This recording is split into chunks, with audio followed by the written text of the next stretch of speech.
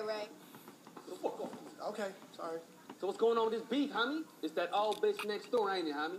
Yeah, she was eyeballing me, cuz, when I was all up in her windowsill last night, but she got a nice body, though, cuz. Uh, like a sexy-ass baked potato, homie. It's not like that. What the fuck is it like then, homie? Well, someone's coming between me and Keisha. Somebody fucked your girl, cuz? I've been wanting to fuck your girl. Oh, Oh, please.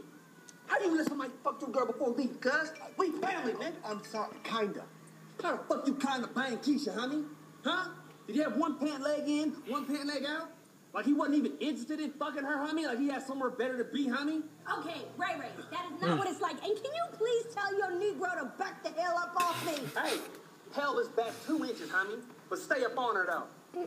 What the fuck is it like then, Keisha? If you hmm? listen, I'll tell you. You tell me. I can't wait to get my hands on this food. Come on out, cuz. Ray Ray, cut it out. You're gonna make it mad. I don't give a fuck, Keisha.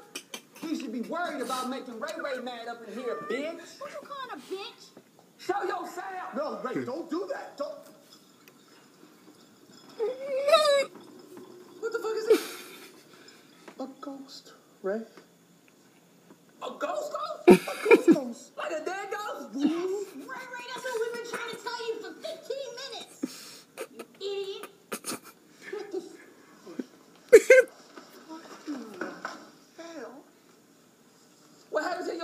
cuz?